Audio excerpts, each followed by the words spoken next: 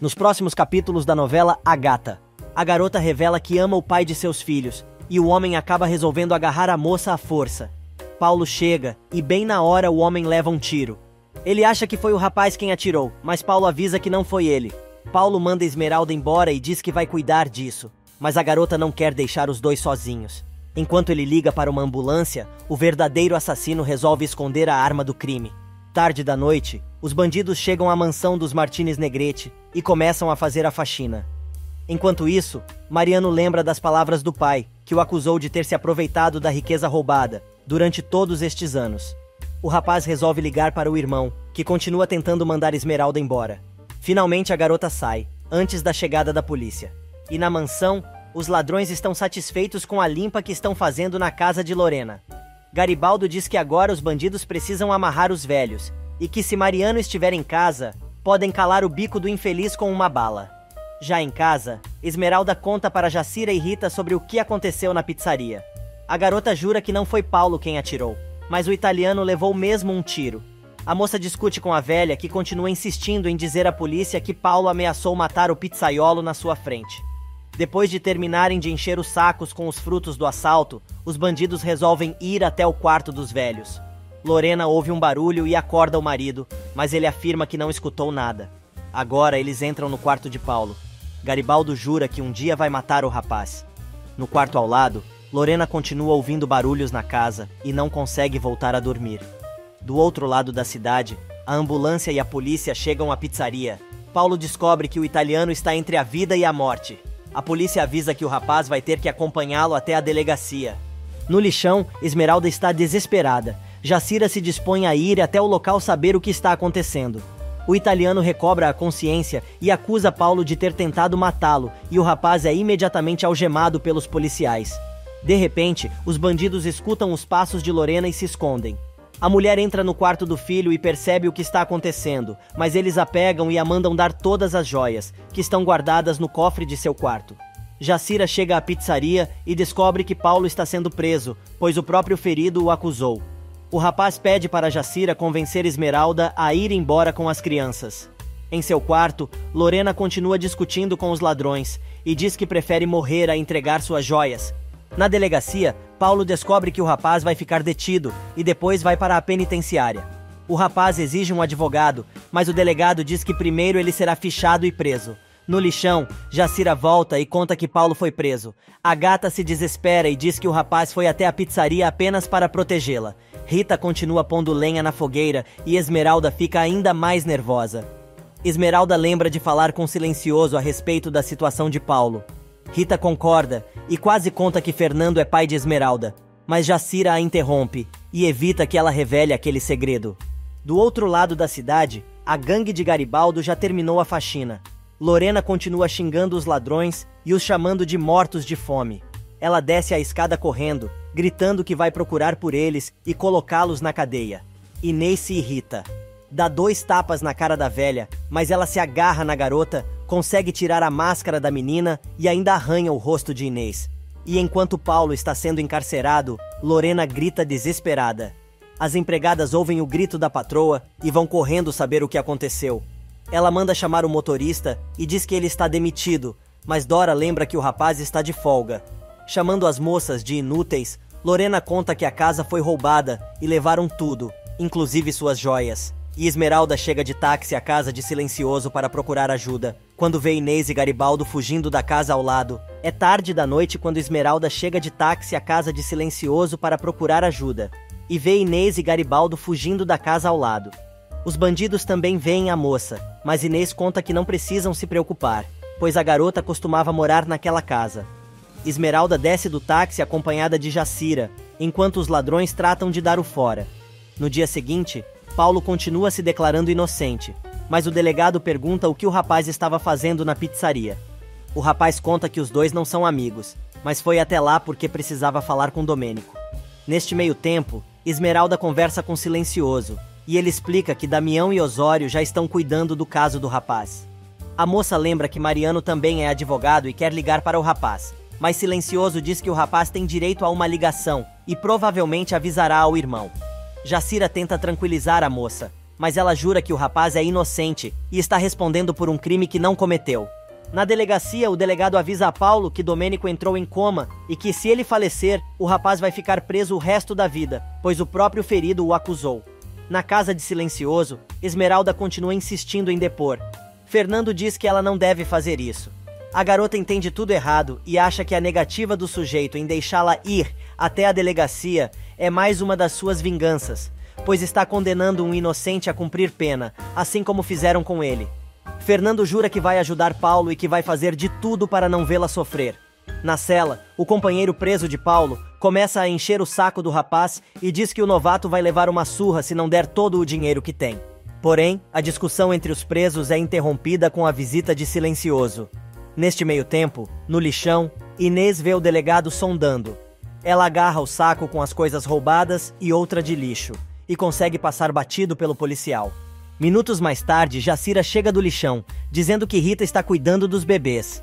Esmeralda diz à amiga que está preocupada com Virgínia, pois não pode deixá-la sozinha no lixão. Porém, Jacira, que já pensou em tudo, levou a mocinha com ela para a casa de Silencioso. Esmeralda conta que Paulo foi preso, acusado de tentar matar o italiano. Enquanto isso, na cadeia, Fernando conversa com Paulo, que diz que não quer Esmeralda envolvida na confusão. Silencioso avisa que o caso dele será resolvido, pois está nas mãos de seu advogado.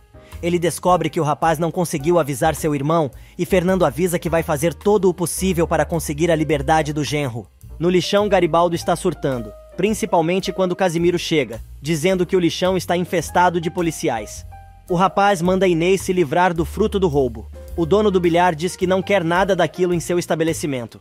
O rapaz resolve mandar Inês levar tudo para a casa de sua avó, Porém, a garota responde que, se for se responsabilizar por tudo, vai sair desta sozinha. Neste meio tempo, Fernando conta a Paulo que o estado do italiano é grave. O rapaz lembra que o homem o acusou na frente da polícia, mentindo deliberadamente, pois nem tinha uma arma. Paulo revela ainda que não tem ideia sobre quem poderia ter atirado. O rapaz descobre que ele será transferido para a penitenciária, mas ele só pede ao sogro que cuide de Esmeralda e seus filhos. Na casa dos Martinez Negrete, Lorena está indignada e conta ao marido que a polícia não levou a sério a sua denúncia sobre o assalto que aconteceu em sua casa na noite anterior. O marido explica que as autoridades estão pensando que eles planejaram o roubo antes do embargo de seus bens, mas por sorte não encontraram nenhuma prova. Mariano aparece e leva uma bronca do pai, dizendo que o filho é um inútil e nunca pode contar com ele. Lorena conta sobre o assalto e diz que enfrentou os bandidos, conseguindo tirar a máscara de um deles, mas não a reconheceu. Mariano larga outra bomba no colo dos pais e diz que Paulo está preso. Algumas horas mais tarde, Paulo é transferido para a penitenciária.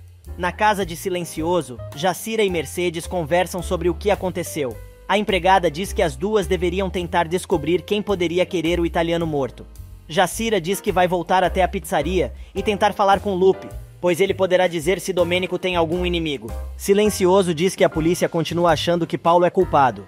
Esmeralda insiste em depor, mas Mercedes manda a moça ir brincar com os filhos e se acalmar um pouco.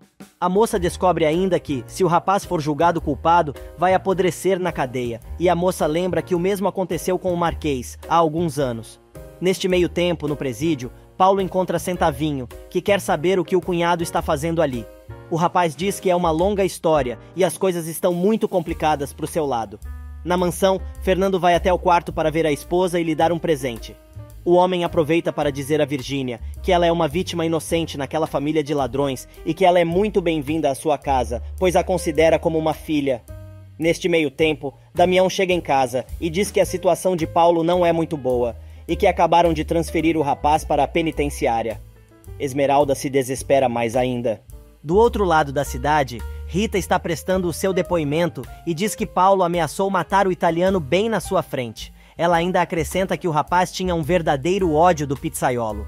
Enquanto isso, Damião avisa a Fernando que o caso de Paulo é muito difícil e que quando estava saindo da delegacia, viu Rita chegando para depor. O rapaz acha que a velha com certeza foi falar mal de Paulo para o delegado. A conversa dos dois é interrompida por Mariano, que entra sem cerimônia na casa do vizinho, pedindo a Damião que o inclua na lista de advogados que estão atendendo Paulo, pois não conseguiu entrar na penitenciária para ver seu irmão. E na cadeia, Centavinho trata de mostrar a Paulo que o lugar é um inferno. Neste exato momento, um dos bandidos dá um stop nos dois presos e os ameaçam, dizendo que o riquinho vai ter que entrar com uma grana, se quiser ficar em paz ali. Centavinho enfrenta o sujeito e diz que os dois já tinham se acertado. Mas Paulo diz que se querem dinheiro, ele vai conseguir. Porém, tem uma exigência. Ele quer se acertar com Cuco, mas sozinhos. Neste meio tempo, Fernando avisa Damião que precisa sair. Mariano percebe que o sujeito não está passando muito bem mas ele diz que só precisa ir para casa e avisa que assim que Paulo for solto, vai permitir que ele se case com Esmeralda. E na cadeia, Paulo consegue desafiar os outros presidiários e se livrar deles. Centavinho avisa que os caras são muito perigosos e agradece ao amigo por ter salvo a sua pele. Paulo revela ao colega de prisão que jamais vai amar alguém como ama Esmeralda. E na casa da moça, Virginia explica que as autoridades estão achando que seus pais inventaram um roubo pois na noite anterior entraram na casa e levaram tudo. Esmeralda lembra da hora que viu Inês e Garibaldo saindo da vizinha quando chegou com Jacira à casa do silencioso na noite anterior. Virginia explica ainda que Lorena conseguiu arrancar a máscara de uma moça que fazia parte do bando e arranhou a cara dela. A garota diz que tem certeza que os pais armaram tudo antes do embargo, para evitarem perder tudo. Desconfiada, Esmeralda diz à cunhada que provavelmente, desta vez, os pais de Virgínia podem estar falando a verdade. Enquanto isso, no escritório, Damião lembra a Fernando que, se Paulo se casar com Esmeralda, poderá prejudicar a ação contra seu pai. Porém, Silencioso diz que não vai mudar de ideia e vai lidar com Augusto diretamente. Minutos depois, Mariano chega em casa, atendendo a um chamado da mãe. Augusto diz ao filho que a prisão de Paulo tem a ver com a vingança de Silencioso. Mariano e Lorena acham que o velho tá viajando, mas o velho argumenta que o vizinho só vai parar depois que ver todos os Martinez Negrete mortos, e ainda culpa Paulo pela sua prisão. Na casa ao lado, Fernando conta a Esmeralda que Damião já saiu para levar o pedido de soltura provisória de Paulo ao tribunal. A moça fica agradecida, mas ele diz que Gata não precisa agradecer, pois ela e os filhos levaram a alegria de volta àquela casa. Algumas horas mais tarde, Mariano finalmente consegue encontrar com o irmão no presídio. O rapaz conta que conseguiu participar da equipe de advogados de defesa de Paulo porque não confia em Fernando. Ele pergunta mais uma vez se o marido de Esmeralda disparou ou não a arma que atingiu o italiano, e Paulo se irrita, reafirmando sua inocência. Mariano aproveita a oportunidade para dizer ao irmão que deve se afastar de Esmeralda. Paulo fica irritado com a proposta do irmão e diz que ele está pedindo que o rapaz se afaste também dos gêmeos, e isto ele não vai fazer. Porém, ele insiste e lembra que o amor dos dois é impossível, pois o pai da moça é o silencioso e o homem tem um ódio mortal da família Martinez Negrete. Mas Paulo deixa claro que Esmeralda e os filhos são a sua vida e que se o irmão foi até ali para falar mal da moça, pode ir embora e não precisa mais voltar. E na casa do silencioso, o homem conta a Esmeralda que decidiu ajudar o casal e deixa claro que seu inimigo é Augusto e não os filhos dele. Por isso, vai fazer de tudo para ajudar Paulo e diz que espera que o rapaz realmente ame sua filha e seus netos. Logo depois que sai do presídio, Mariano liga para Gisela e marca um encontro com ela na galeria. Minutos depois, ele chega, muito nervoso, e diz que não consegue se acalmar, pois tem muitos sentimentos contraditórios. O rapaz resolve contar que Silencioso decidiu ajudar seu irmão, para que ele e Esmeralda fiquem juntos. Gisela coloca os pingos nos is e verbaliza pela primeira vez que ela está apaixonada por Paulo e ele pela Esmeralda. Por isso, quer que o irmão continue trancado na cadeia. O rapaz avisa que tem todas as armas para que isto aconteça, mas está na maior dúvida porque foi o primeiro a criticar as atitudes dos seus pais. A dona da galeria diz que ele não pode fazer uma coisa destas, pois os gêmeos não podem crescer sem o pai. Mas o advogado revela que está fazendo tudo por egoísmo, mas não consegue ter paz em sua consciência por ter que tomar atitudes parecidas com a de seus pais. Gisela tenta colocar a culpa em Gata, mas o rapaz encerra a conversa, dizendo que ela foi a melhor coisa que aconteceu na sua vida e na vida de seu irmão. No lixão, Rita encontra o saco com o fruto do roubo de Inês, mas a moça chega bem na hora e diz para a avó não mexer em suas coisas. Indignada, ela quer saber o que tem ali, mas a moça não conta. Segundos depois, a velha recebe a visita de Fernando, dizendo que precisa muito conversar com ela.